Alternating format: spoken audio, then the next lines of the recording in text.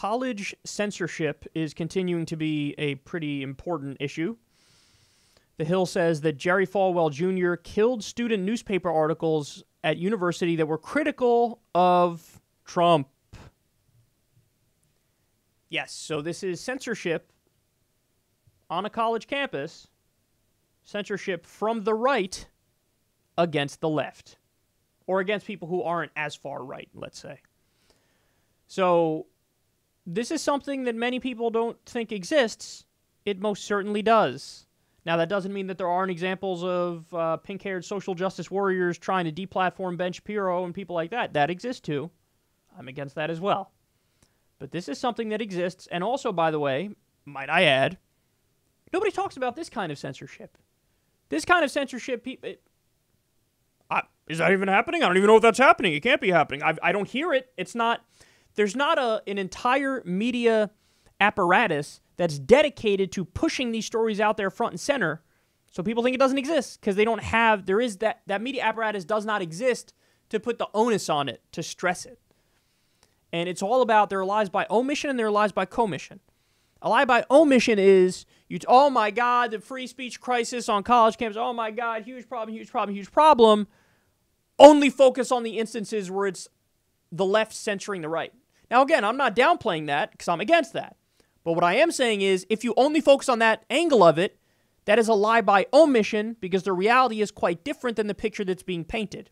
Further evidence of that is a story that we I reported on probably just a few weeks ago now. It was uh, a nonpartisan free speech report from Georgetown University, and they found that 75% of college censorship is against the left. Now, again, let me be clear.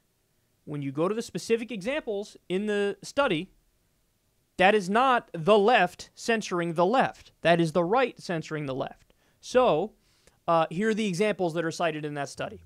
At California State University, Fresno, in uh, an adjunct professor of American history was removed from his position for sending tweets criticizing President Trump. Hmm, I'm sensing a trend here. Professors at Syracuse University and Trinity College were sharply criticized for online comments perceived as calls for violence. At the University of California, San Diego, death threats led to the cancellation of a commencement address by a Princeton professor who had already given one at Hampshire College that was harshly critical of President Trump. Yet again, I see a pattern. At the University of Iowa, a classics professor was attacked for suggesting that the white color of marble uh, statues from antiquity was the result of their original colors fading over time. I don't even get what that censorship is for, but doesn't really matter now, does it? The uh, the fact is, 75% of the censorship is against the left, and it is from the right against the left. And one of the most prominent, um, or what I should say is, one of the examples that I keep finding over and over that actually is getting some media coverage because of great work done by The Intercept, for example, is that a lot of the college censorship is particularly of people who are in favor of BDS and are critical of Israel. So if you're critical of Israel and you're pro BDS, that is spun as if it is anti Semitism, and the right weaponizes that and cracks down on the left and censors and deplatforms the left. So the most prominent examples of campus censorship in today's day and age, according to the nonpartisan study on this, is censorship of the left that's because people are critical of President Trump, and censorship over BDS and pro Palestine activism. So listen, man, I try to be consistent on this. I've done set when Milo Yiannopoulos, when there was a fucking riot for, to people try to trying to stop Milo Yiannopoulos from speaking on college campuses. I did a segment where I said, "You're wrong. I don't agree with that at all. Let him speak." So I'm consistent on this. I'll defend it when it's the right wingers. I'll defend it when it's the left wingers. But what I certainly won't do is mislead you and make you think that most of the cases are, uh, you know, the authoritarian left censoring people because that is not the case.